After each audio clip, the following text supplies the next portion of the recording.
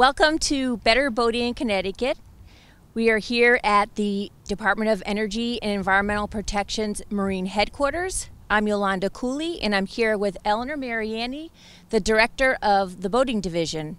And today we're going to talk about getting your boat ready. We're all a little anxious to uh, get back out on the water this year. The sun is shining, and we want to give you some useful tips on some things that you should check on your on your boat um, before you launch this season. So we're going to give you a little brief overview of some of those things that we feel are important to have a safe day on the water.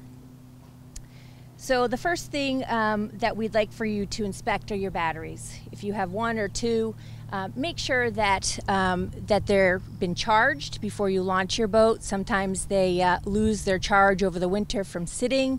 We want to make sure that you inspect the water levels. If it's not a maintenance-free battery, um, add some distilled water if the levels are low. You also want to check the uh, battery terminals. Um, look for corrosion. Uh, take the terminals off. Uh, scrape off the corrosion with a wire brush. Um, that corrosion will um, cause some problems for you if, if it's not properly taken care of. You, um, the increased resistance from the corrosion will stop the flow of electricity. So you go to start up the engine and you'll have nothing. Uh, something else to um, think about is the fuel system. Um, boats have gasoline fuel um, and diesel fuel as well. Gasoline uh, poses a little bit um, more of a risk for uh, some of the boaters out there, it's highly combustible, and there's some um, other safeguards that we'd like to uh, make you aware of so that you don't have um, an accident on your boat from your fuel system. And one of those is, you know, if you have accessibility, is to check to make sure that the fuel fill is properly grounded. Um, we want to make sure that your fuel tank is properly vented and you want to make sure that all those hoses and connections are properly clamped as well. And those hoses need to be flexible. They need to be marine grade and they also need to be US Coast Guard approved. You want to inspect those all those fuel lines for any visible cracking, ensure that they're well supported and strapped to the boat to ensure that there's no chafing that um, takes place when you're underway, rocking and rolling. Um, we don't want to have uh, fuel leaking right into your bilge, which po poses another problem for you. We want you to inspect your uh, fuel tank um, to make sure there's no corrosion, weld cracks, uh, any leaks to the fittings and connections, and any kind of metal fatigue or abrasions. Uh, and also, um, an important, um, we want you to change your fuel filter too and to uh, keep a couple of spares on board. And did you want to say anything about um, the gasoline? Yeah, so one of the things to remember with the gasoline, with the ethanol now, is that it has much, it has more water in it. So you want to make sure a lot of times it's going to be really important to add a water separator if you don't already have one. And if you do have a water separator, make sure you have an extra um, cartridge so that if you need to change it, you can do so. Um, the other thing with the, uh, if you say you have an outboard engine and a small tank on board, you know, you really need to watch out for the hose and make sure that it's not getting uh, soft and um, and kind of uh, sticky. if it's sticky, you need to replace it. Okay, thank you, Eleanor, for that. Um, along with um, the fuel system, we want to make sure that your bilge blower hoses, um, make sure there's no leaks, um, ensure that they're properly clamped to the ex exhaust uh, vent. And also, while we're talking about the bilge, we also want you to inspect your bilge pump. Uh, make sure that the flow is um, flowing up and down. Make sure that the um, impeller inside the pump is free of any lint, dog hair, oh, it loves to accumulate in the bilge and then get sucked up by the the, the bilge pump as well and leaves as well. Um, so something to um, also we want to talk next about the different engines and getting your engines ready for uh, launching. Uh, for inboards, we want you to inspect all those cooling hoses and fittings. Uh, look for rot, leaks, and cracking. Uh, they should be snug and double clamped as well. Um, clean and replace any air filters that you have, and check uh, all the fluids. You want to check the the oil um, for the engine. You want to check the coolant um, levels as well, transmission fluids, and hydraulic steering fluids. You're going to check all your fan belts um, for any tension or wear. Um, it's always good to have some of those uh, spares on board too.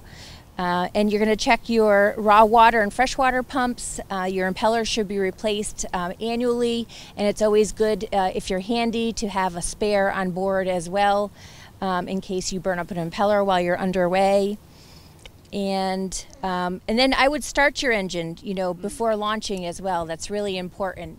Um, inboards uh, a little bit more difficult to do that, but if you have an outboard, you can um, start your engine up with a garden hose at home and some earmuffs um, that you. And you may we could show them right here. So uh, generally, you're going to put put the uh, yeah the earmuffs uh, here or here, and you can and start it up um, adding the water, and then start the engine up. Uh, the other thing that we wanted to mention is making sure that you put the plug in uh, to your boat because almost all boats have plugs. If you're trailering your boat, you typically take it out uh, when you're trailering it. And at the end of the season, if you have a, a, larger boat, you will take the plug out. So don't forget to put that back in because um, the boat can sink. Okay, and then um, just to move on from an inboard, we want to talk about you know our outboards here or an IO, the inboard outboard um, engine. Um, something that fails on those inboard outboard drives is the uh, bellows. Um, and that's where the uh, stern drive uh, attaches to the transom and the bellows are there. It's a rubber gasket that commonly, if it's not replaced, um, will fail. It does fail, and water uh, comes in, and your boat sinks at the dock when you don't even know it. So you need to check those those bellows uh, for cracks um, and deterioration, and replace as necessary to avoid you know flooding and sinking. Before we get off uh, the subject of flooding and sinking, I just wanted to mention so every year we owe, you know, in the springtime, we will get accidents where um, the boat floods and, and sinks. Uh, it may even lead to fatalities. We have had that situation in in several times.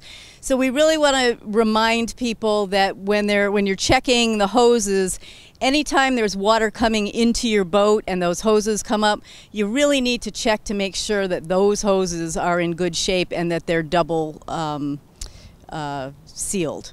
So please, that's an important component. And that you know leads us to the seacocks as well, because you want to make sure um, that those seacocks where the water is coming in from, um, that those are freely um, working. That you can open and close them. They're well lubricated. They look like they're not rusted, and um, they're not going to fail while you're launched. Um, on the outboards, you want to check the power steering and all the power trim oil levels. Um, those usually those hydraulic trim fluids are usually generally changed prior to um, being wintered. And you want to check the lower unit lube level. That should be nice and clean and not creamy. Um, any kind of white cream inside means that there's water's getting in there some somehow and that's not good. It's going to corrode everything uh, and lead to failure of your of your um, lower unit. Uh, we want you to replace uh, any worn zincs and the importance of um, the zincs. Eleanor, would you like to expand on that? Sure. So on, on the outboard, for instance, there's a, a zinc right here, and then typically there's a zinc um, right under this unit here. And you can go to the your marine store, they will tell you for whatever engine you have what zincs you will need. Um, a lot of times the manufacturers have actual packages, you know, kits that you can just buy. And the reason that the zincs are so important is because if you have different metals on your boat, and generally they mix different metals, aluminum and bronze or, or different metals, each one will corrode at a certain rate. Um, and what will happen is it, one metal will corrode over the other. What they typically do now with the, the zinc is that is a metal that's called a sacrificial anode or sacrificial metal. And what happens is that will corrode and will leave your other metals alone. So a lot of times on an inboard engine, you'll see on the shaft of the uh, the propeller shaft a, a, zinc that gets clamped onto it. That is to protect the, the propeller shaft. So those zincs are really, really important. And depending on uh, the, you know, how warm the water is, um, and uh, how, you know if there's pollution in the water, or if you're in an area where there's a lot of um, conductivity from other boats, um, that can corrode those even faster. So it's a really wise idea to check that mid-season also.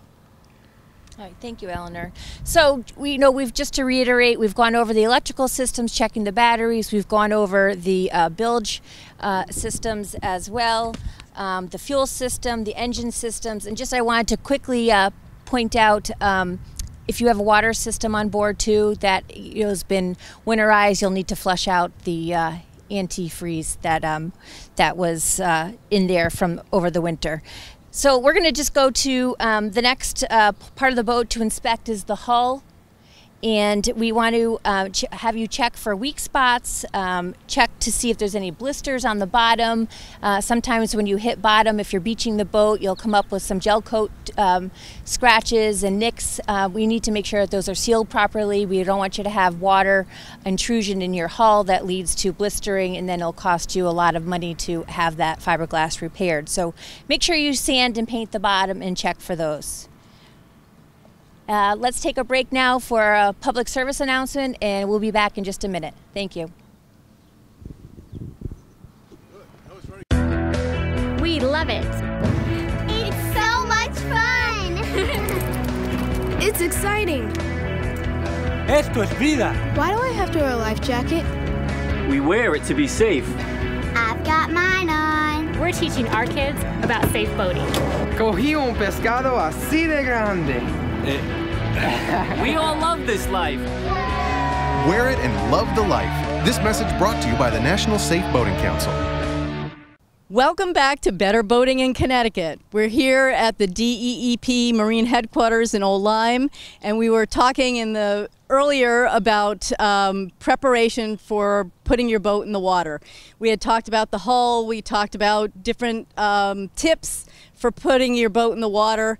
Um, the importance of the checking your batteries and you know again with the batteries they last three to five years at the latest at the most. So you do want to check those batteries and at some point uh, just break down and replace them because you don't want to have to replace them when you're on the water and you you break down. Um, we were talking about the hull when we left and talking about the need if you're on salt water to paint the boat uh, to make sure that you don't have blisters and things like that. One of the things that you also want to check is that um, it, any through hulls, you want to make sure that, that they're not blocked by either paint or by barnacles, because again, that's going to be really important to the success of your boating day is getting that water in when it when it needs to cool your engine or whatever. Um, so again, that's really important. Um, yeah, I wanted to touch quickly on some, you know, if you have a sailboat, some of the things that you need to do to prep. And so with a sailboat, you either have uh, standing rigging, and basically that's the the shrouds, you know, the uh, or the stays in the front of the boat that uh, that hold the mast up. And so that's called standing rigging. One of the things that you want to check with that is uh, that the um, metal that that holds that up, the the shrouds, uh, is in good shape. And you want to make sure that there's no what they call fish hooks or, or slivers coming off of that, because if that's starting to un, unwind, you really need to replace it, because again, that is what's holding holding the mast up. Uh, you want to check your turnbuckles uh, to make sure that they are in good shape. And one of the most important things is when you put the clevis pin in. That is the the pin that will hold the stay to to your boat or the turnbuckle on, um, that holds the load. You want to make sure that you always put the pin back in, the, the cotter pin back in. And maybe even replace those uh, if they're in, not in good shape. So you may have circular ones or or ones that look like a little R. Um, those are really they look small, but they're very important, and it's really important to have those in good shape because you don't want the turnbuckles turning, and you want uh, you want that fasten to the to the boat to be uh, a good hold. So for the standing rigging, those are some of the things you would look at. And then for the running rigging, which is basically the the ropes, or sometimes the rope will attach to a piece of wire that would be your halyard. Um, you want to make sure that those are in good shape, and uh, a lot of times you can just wash the the lines with you know, soap and water to make sure that they're uh, soft and supple and in good shape. So, you know, those are some of the things that you would want to look at for those.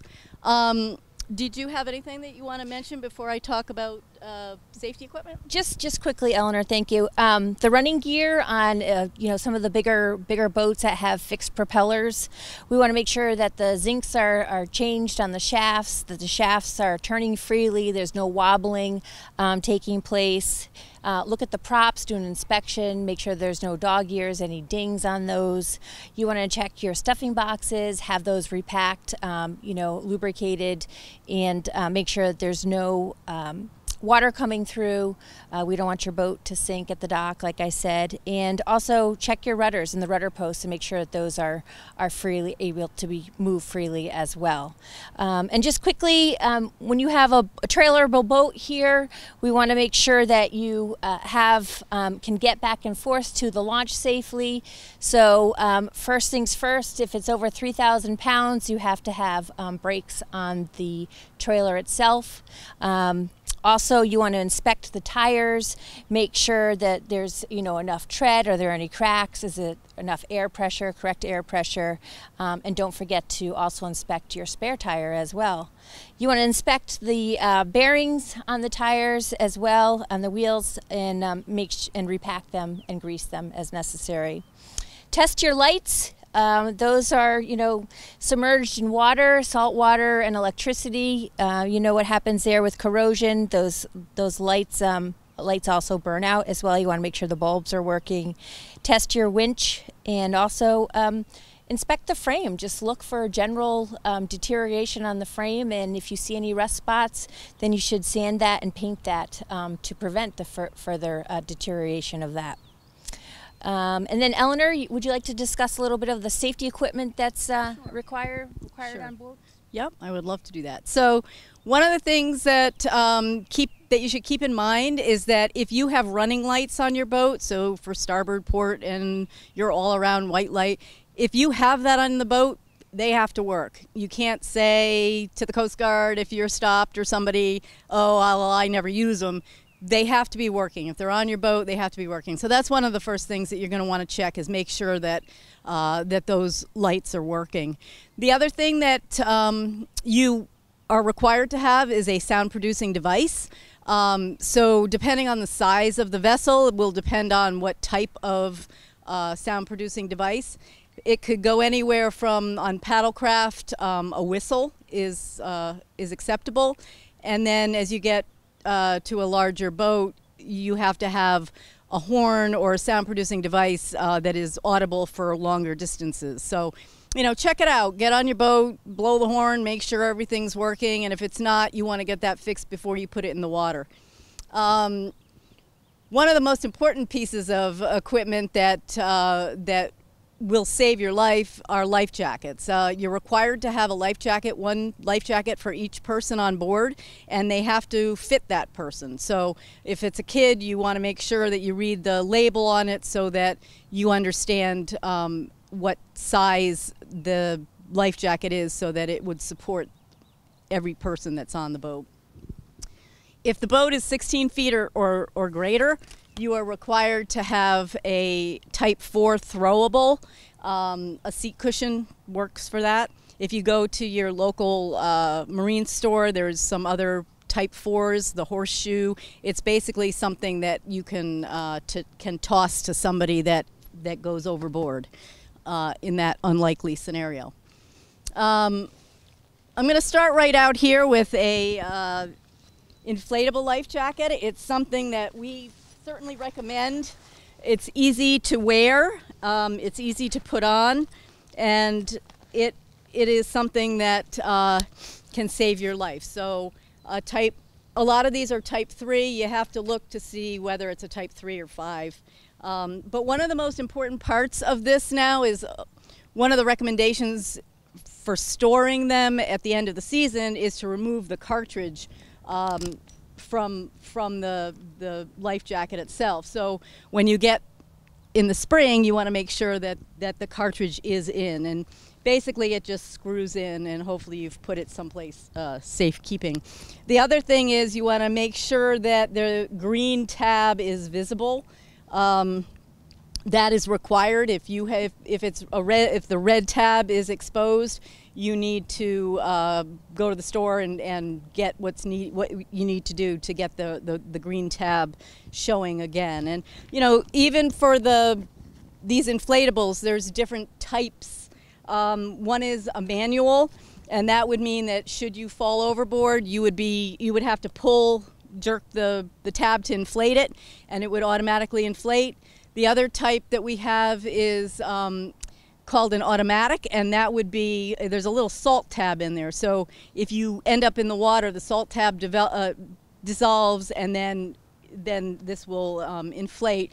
And then the most um, expensive one, but it's a really good one because you don't have to worry about it getting wet. So uh, you don't have to worry about that salt tab dissolving if you get hit by a wave or something like that, or in the rain, is um, a hydrostatic. And what that means is you have to actually submerge about two inches before the pressure causes it to inflate. So these are great great things. We, I mean, I wear them on my boat all the time, and certainly recommend that everybody do that.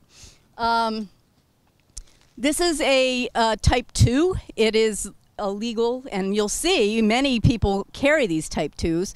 One of the things that we suggest is that um, you know they're not that comfortable to wear. So our recommendation would be that um, that you get this type three, which is the vest type and is very comfortable and and it can be used for water sports. So if somebody's tubing or, or um, water skiing, they're required to wear one.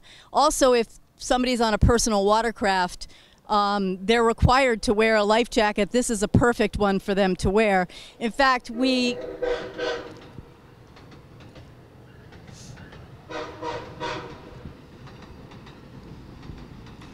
In fact, we suggest that they do not wear these uh, Type 2 because you can sustain injuries if you fall off if you're on a personal watercraft.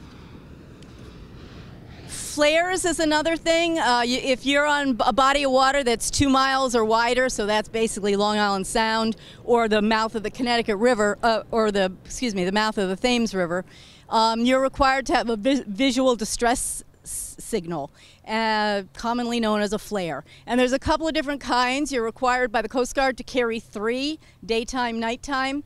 Um, some count as daytime, nighttime. These are very common and um, will count for both. And and you go to the marine store and you can get them. And one of the things that you need to look at is the expiration date. So once they're expired, uh, you have to get get new ones. Um, there's also a, a, a, pistol type. And um, what ha- you, you get it and you put the flare in here and then you can shoot that uh, in the event that you need it. The thing to remember with this, though, is that the cartridges that you shoot from here only last like maybe 10 seconds. So you have to be, uh, you really have to know that help is, is in the near vicinity to shoot this off. Um, the other thing that I wanted to talk about, the last piece of safety equipment, is um, on, on boats that have inboard engines or um, that have enclosed fuel tanks, so even on an outboard, uh, so for instance on my boat it's an outboard, but I have an enclosed fuel tank required to have uh, a, a, um, a fire extinguisher. the size of the boat will depend on how many of these you need and what size, but generally speaking, to get this ready for the spring, you're going to look to make sure that the dial on this is in the green spot. That means that it's good. And then the other recommendation that we have is th- these are powdered uh, powders inside of this. So what we require, uh, what we're recommending is that you actually shake this, and you may actually have to, you know, hit hit the bottom to loosen up the compacted powder and uh, make sure that you can hear it and feel it uh, before you put it in your boat. And we do recommend that you uh, that you secure this to your boat, although it's not required. Alrighty. Do you have uh, anything else that you wanted to? Just quickly, I wanted just to um, finalize uh, some something that we think is very important here at the boating division is to actually schedule a vessel safety check. Um, we will have the, um, you can request a vessel safety check, or if you launch at one of our state boat launches, we have boating education assistants there um, that can, can provide a safety check for you. Make sure that your registration is up to date, your decals are properly placed on the boat, um, and we want you to wear your life jackets. It's it's one of the messages that we keep on sending home to our our boaters. Uh, it's it's very important to wear your life jacket. So thank you so much for joining us, and we hope that you uh, enjoyed our show. Um, our resource is a boater's guide. If you have any questions or want to follow up on some of the safety equipment that we talked about here and what the requirements are, and we'll see you the next time. Thank you.